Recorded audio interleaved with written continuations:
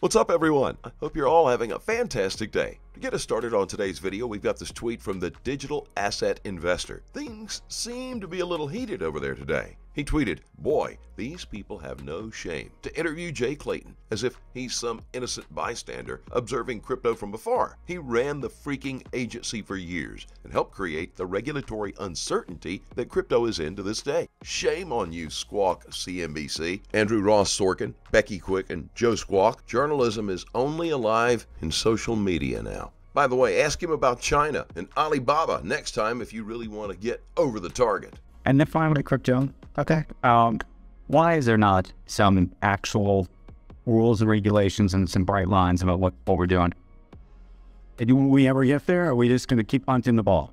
Um, it was very interesting what happened in Europe, where, where Europe has said, we are going to try to figure out how to take crypto, which crypto is, we, we use it to describe products. It's actually a technology, right? Because it covers a wide spectrum of products. Europe just said, we're going to try to figure out how to bring crypto technology into our financial regulatory system in a in a nice bumpy way. Right now, what we've decided to do is keep it out of the traditional financial system. Yeah, that's clearly the policy, and work it out of the courts. The, the courts the courts are not an efficient place to resolve classification issues around securities, commodities, and the like. And therefore, therefore, we right now we're, we're, we're not in a spot where what I would say is the technology is going to come into the traditional financial system in any kind of smooth way. That's what we should focus on. I think French Hill, you have French Hill on the other day. He, he is trying to push forward with this. We, okay. I, I do agree with what I do agree with Gary that securities covers a very wide swath. Is Ethereum a security? He got in big trouble. I mean, is Ethereum a security? He got in big trouble not answering that. Front. No, Andrew and I did a, did a thing years ago. And can, can I can I take thirty seconds? I mean, uh, things things can go from being a security to not a security. A play. Let's say we all want to of production here and here on Broadway. We go to people and we say, you know what? Give us a thousand dollars. We'll give you a hundred tickets. Play might might not come to market for you know a couple of years. At that point, those hundred tickets, they're definitely securities. People are people are taking those tickets, hoping that we're going to be very successful, put on a play, and instead of being worth ten dollars, they're worth hundred dollars or even a thousand dollars. Let's say we do that. The play does beautifully. Five, seven years later, you go to the box office and you buy a ticket. It's just a ticket. So you can really. yeah, but it's a security. Right now, these things are secured. So they, they are, but they can, but they can change to not be. So on, on Ether, I don't, I don't know all all of the facts, but it has many more hallmarks of just being a ticket than it does of being a means to raise money. As always, welcome back to Money Side, your favorite crypto news channel. If you're new here, welcome to the XRP Army. Hit that subscribe button and turn on notifications. That way you don't miss out on our daily crypto news updates. Another update now from Mr. Man XRP. He shares a video of Ripple co-founder Chris Larsen. McKinsey on payments sits down with the co-founder of Ripple Labs to discuss the nuts and bolts of the Ripple protocol, the implications for the correspondent banking model, and the emergence of an internet of value. Chris Larsen Larsen speaks, saying that the bigger opportunity is between countries. There's no notion for an internet of value. There's no global switch for value. Listen in. Well, I mean, there's there's definitely a lot of discussion going on within countries, um, and there's you know many countries that do have uh, you know very fast payments. Um, I think uh, so. That, but in the U.S., there's definitely a lot of opportunity to move things forward, and it probably will. Um, it seems like it's moving in the right direction. It's going to take time. There's a lot of constituents that have to be kept happy. But it's, uh, I think the bigger opportunity is, you know, between countries. Um, again, there's just no notion of an internet for value or sort of a global switch for, for value. So the only way around that is uh, this kind of series of correspondent banking relationships, which is basically controlled by about five or six global money center banks. And what that means is then, uh, you know, very advanced uh, technological banks like uh, CBW have to use a series of correspondents, pay a lot of money, um, uh, have a pretty slow process of, you know, going between uh, countries. And what you'd like to see is uh, a system where a CBW could correspond directly with a small bank in Germany, like a Fidor. And so we think the real opportunity is once you have these distributed systems, um, you basically now, for the first time, have an internet for value exchange. That's the real breakout that's happened over the last couple of years. Bitcoin obviously being the proof point of, of the technology, uh, being able to you know confirm transactions without a central operator. But now you can kind of apply that so any bank now can correspond directly with another bank instantly um, without having to pay any carry. So it's just like HTTP. It's just going to be a rail that anybody can use. And then probably most importantly, you then open up that entire rail to not just five or six correspondent banks, which will dictate a, a pretty lousy FX rate that you know filters all the way down the system.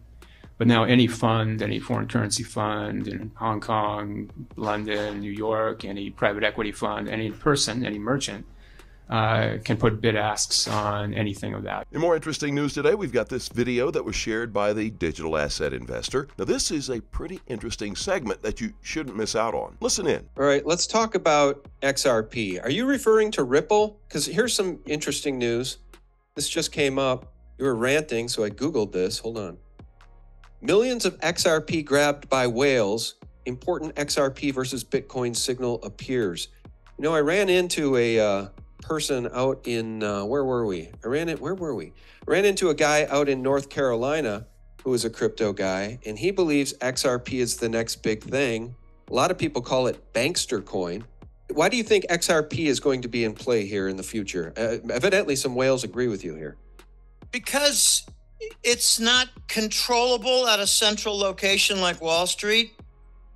Uh, when the SEC went after Ripple to hamstring them, to tie their hands behind their back, to freeze their progress, I thought, well, there's a winner.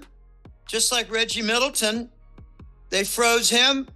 They didn't make any progress at all in the, in the 16 months when they froze Reggie Middleton. He continued in development.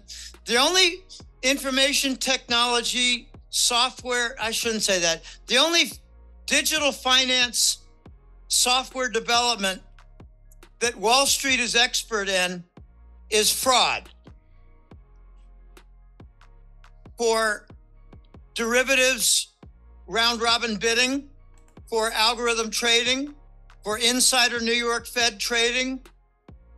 Wall Street is expert at software for fraud. They're not expert for software development on the new digital highway infrastructure.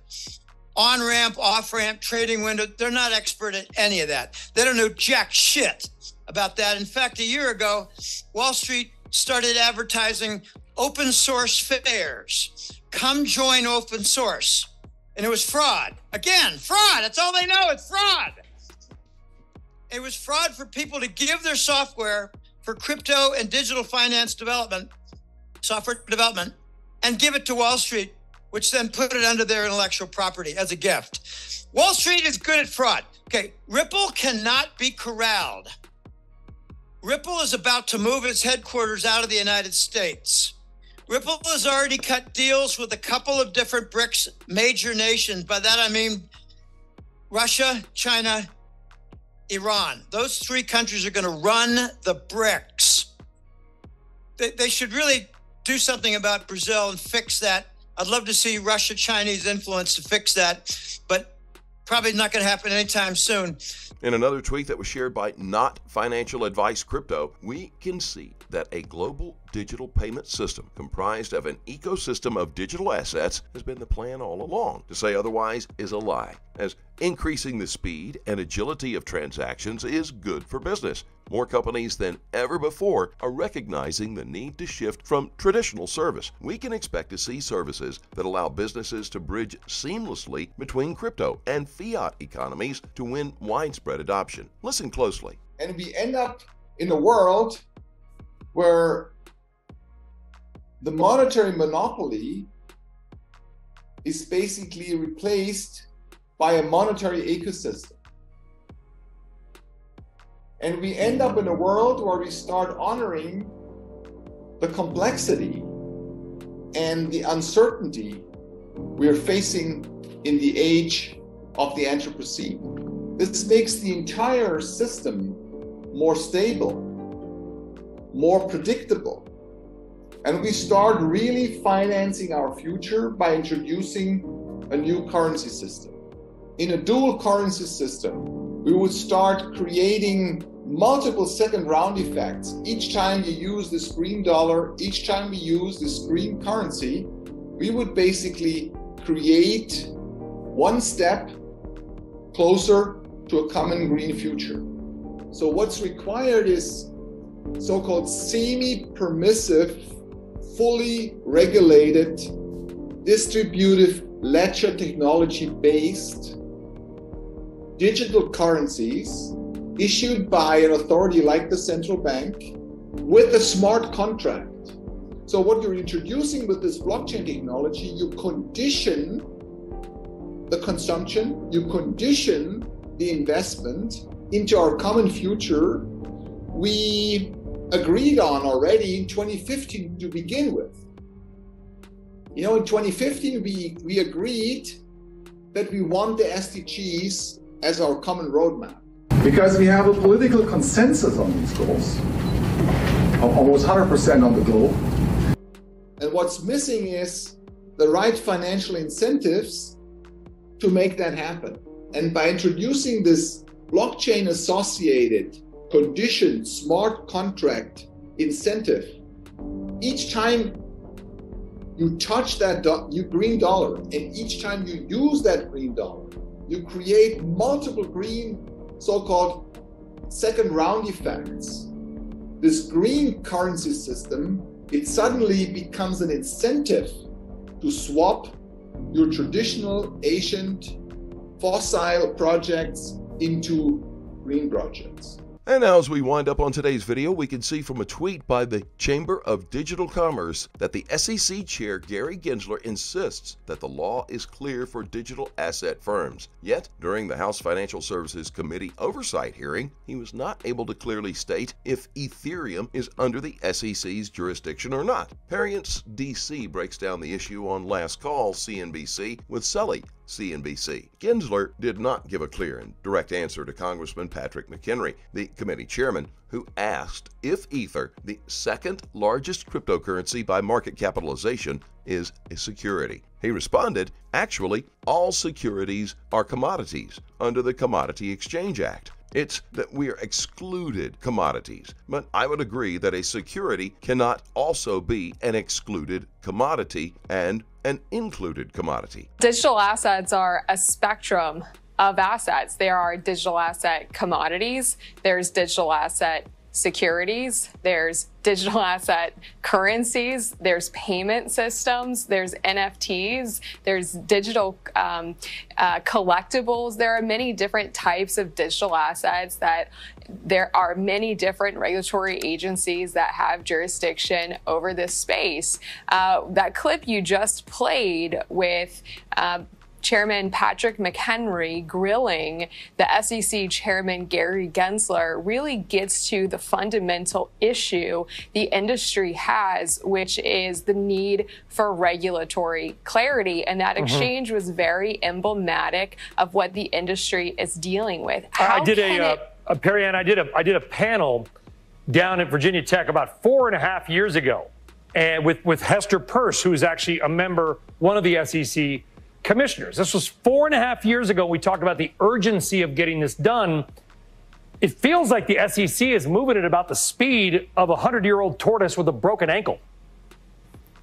Yeah, uh, Commissioner Peirce spoke at an event that we hosted about a year ago, and she said, unfortunately, the SEC has made very, very little progress. There has been no regulatory guidance issued by the Securities and Exchange Commission for the digital asset ecosystem, despite the fact that industry has been calling for it for over six years. Uh, coming back to that question of Ethereum, which really kicked off the entire hearing, how can it be that the Securities and Exchange Exchange Commission is taking the position that digital tokens, including Ethereum, potentially are securities. But then you have the CFTC also saying these exact same assets are commodities. How yeah. is there clarity in, in, you know when you have that when the agencies themselves don't agree, and even the, the SEC, the commissioners of the SEC, Hester Peirce being one of them, don't agree. There is not regulatory clarity in this space, despite what yeah. the chairman testified on this morning. Well, Perianne, you know that it may not be about about clarity so much as it's about control, who ultimately is the regulator. Perianne Boring,